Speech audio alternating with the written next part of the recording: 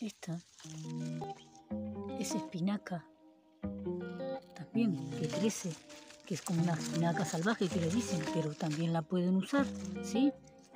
Se puede hacer tortilla, bueno, la comida que usan.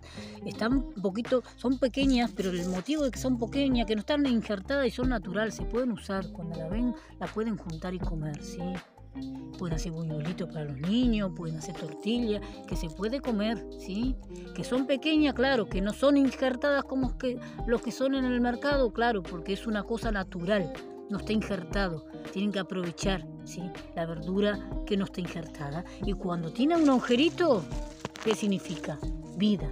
Significa que no tiene ningún remedio. Úsenlo, ¿sí? Que esto no es veneno lo que nos están vendiendo.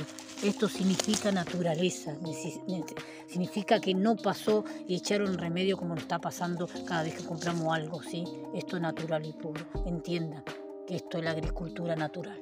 ¿eh? Volvamos a, a las costumbres de nuestros abuelos.